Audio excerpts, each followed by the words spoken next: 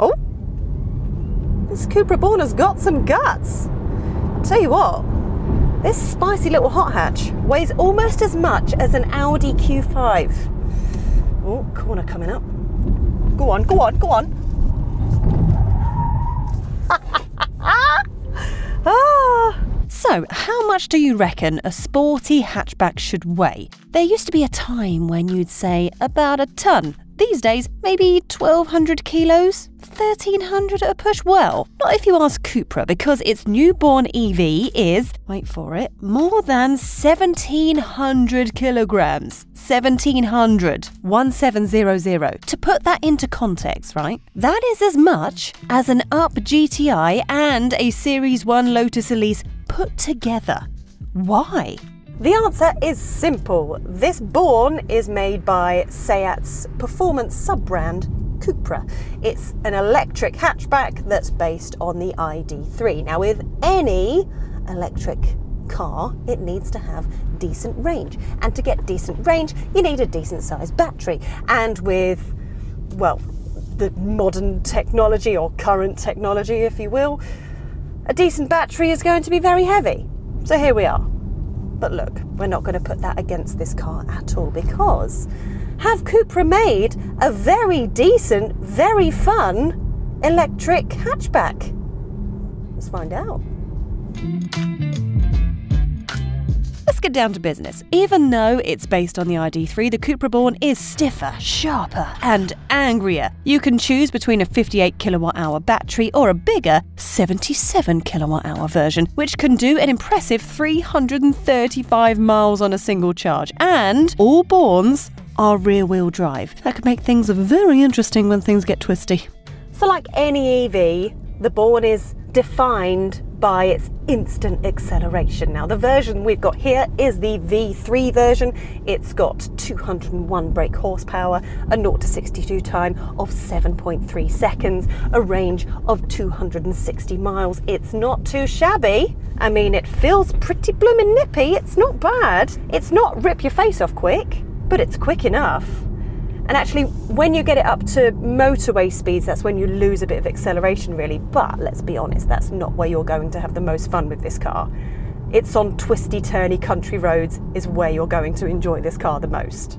I mean, this is the kind of car that can just kind of squirt between corners, and then when you get to a corner, it doesn't fall apart at all. I mean, there's no disguising the weight of this car. It's a heavy car. When you hit a corner quickly, that's when you realise that this is rear wheel drive because it makes it a little bit more entertaining, which I'm going to show you as I approach this corner now. Here we go. Let's have a bit of fun on the corner. Go! Yeah! Oh my god, I feel like Formula E. So, okay, the Born is good, but is it a proper hot hatch? Does it excite like a Cupra Leon or a Fiesta ST? Well, not quite. I mean, the steering is very nicely weighted and the body roll is very nicely controlled, but it lacks that little bit of exciting fizz that most hot hatches have. And I can't quite put my finger on it, but most hot hatches have that little bit of excitement in your tum tum. This doesn't give me the excited tum tum as it should. Does that make sense? I mean, it is sportier than an ID3. It's not as comfortable as an ID3, but I mean, it's a decent ride anyway. I guess the fun bit is taking the corners, which she says as she approaches another corner. Shall we? Screw it, let's do it. Because I can. It's fun, but it's not as fun as I want it to be. So it's probably going to be a while until we get a proper lightweight, fun electric hot hatch. But the Cupra Born is still pretty nice to drive and it promises a few little neat tricks inside. Shall we take a look? I tell you what, quality and materials in here way better than the ID3. I mean, you've got copper detailing, which is all very Cupra, ambient lighting all along here. These Dinamica bucket seats, very, very nice and comfy. I'm not going to lie, the dash is a bit deeper than I expected it to be, so actually visibility isn't that great, even with the windows down at the side here. But everything else, lovely. I mean, look, cubbies, love a cubby, cubbies, door bin's lovely. There's a button down here. I want to press it. Does it do anything? I'm having a massage. Oh, oh, that's quite nice. Oh, I'll take. I'll do some voiceover stuff. Just leave me here for a minute. But let's talk tech. Has Cupra followed VW's lead with its infotainment system and touchy slidey climate controls? Yes, yes, it has.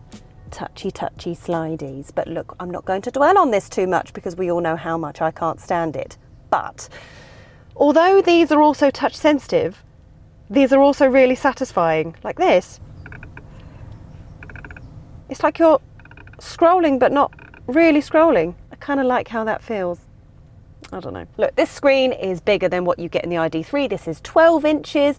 And actually, the system within it, it's all reskinned, right? It's all got reskinned software.